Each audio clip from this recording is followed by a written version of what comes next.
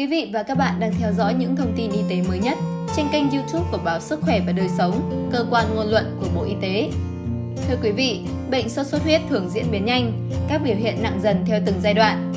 Kể từ thời gian phát bệnh với những cơn sốt cao đầu tiên, bệnh sẽ khỏi dần trong 7 đến 10 ngày sau đó. Vậy, sốt xuất huyết có tự khỏi được hay không? Trên thực tế, nhiều người nhận định sai về các dấu hiệu mắc bệnh hoặc khỏi bệnh sốt xuất huyết. Và điều này có thể dẫn tới những chủ quan, sai lầm trong điều trị rất nguy hiểm. Vậy, làm sao để biết chính xác sắp khỏi bệnh sốt xuất huyết? Hãy cùng Phó Giáo sư Tiến sĩ Nguyễn Tiến Dũng, Nguyên trưởng khoa nhi Bệnh viện Bạch Mai tìm hiểu về vấn đề này nhé. Sốt xuất huyết thông thường Đấy. thì bệnh nhân thường thường là sốt cao dao động à, liên tục trong 7 ngày à, có thể có các cái biểu hiện như là xuất huyết ở ngoài da niêm mạc vân vân nhưng mà à, bệnh nhân hoàn toàn à, vẫn tỉnh táo đấy à, vẫn có thể tức là à, đi lại bình thường đấy, hoặc là chỉ hơi mệt thôi.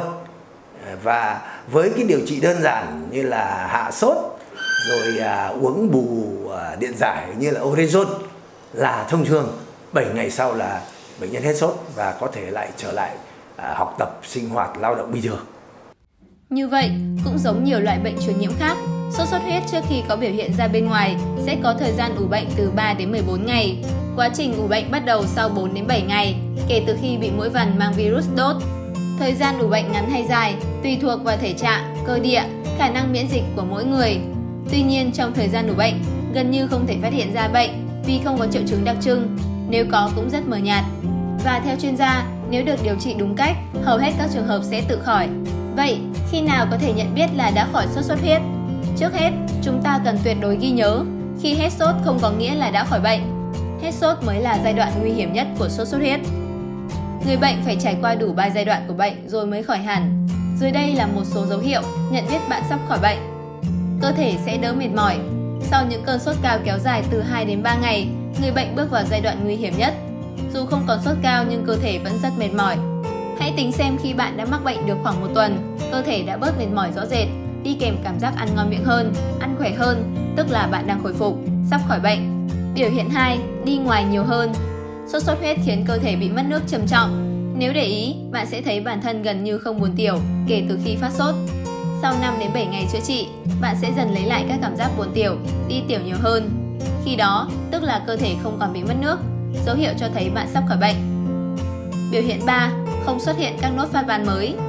Các nốt sốt huyết dưới da có thể xuất hiện kể từ khi người bệnh sốt.